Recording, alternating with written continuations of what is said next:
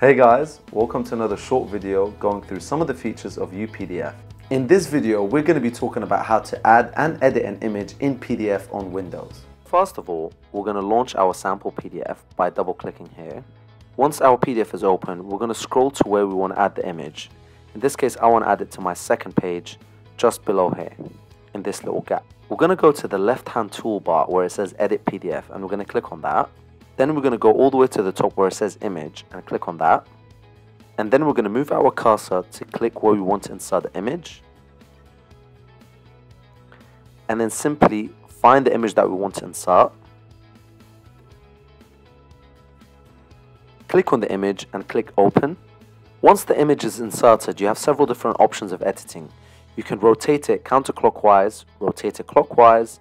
You can extract the image, you can crop the image or you can replace it or delete it.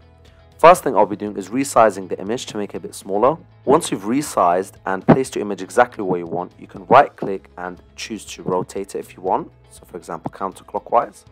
You can choose to rotate it clockwise. You can choose to crop the image. Simply drag and crop and click OK. You can choose to remove the crop. You can also replace the image or just delete the image if you wish. Thank you guys for watching. If you enjoyed this video, please leave a thumbs up and click on the subscribe button if you want to see more videos like this.